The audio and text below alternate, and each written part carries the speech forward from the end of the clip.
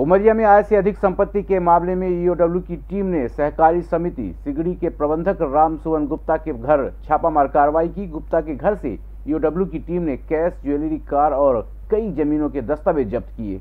आय से अधिक संपत्ति की शिकायत मिलने के बाद ईओडब्ल्यू की टीम ने सहकारी समिति सिगड़ी के प्रबंधक राम सुवन गुप्ता के पतौर स्थित घर में छापेमार कार्रवाई की। कार्रवाई के दौरान प्रबंधक के घर में दो लाख से ज़्यादा का कैश और साढ़े पाँच लाख की ज्वेलरी दो बाइक साढ़े आठ लाख मूल्य की एक आर्टिका कार कई जमीनों के दस्तावेज़ जब्त किए गए हैं।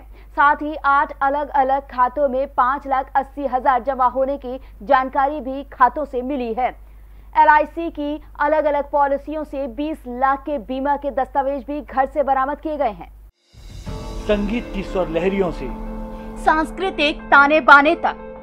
चंबल के पीड़ों से नक्सलवादियों के गढ़ तक झोपड़ी से महलों तक ठेलों से मेलों तक पगडंडियों से सड़कों तक गाँव से शहरों तक व्यापार से उद्योगों तक। राजनीति से कूटनीति तक। दखन न्यूज़।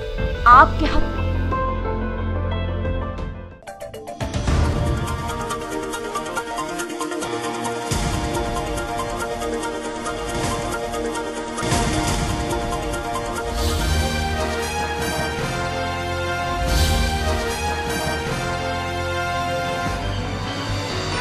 आप देख रहे हैं दखल न्यूज़।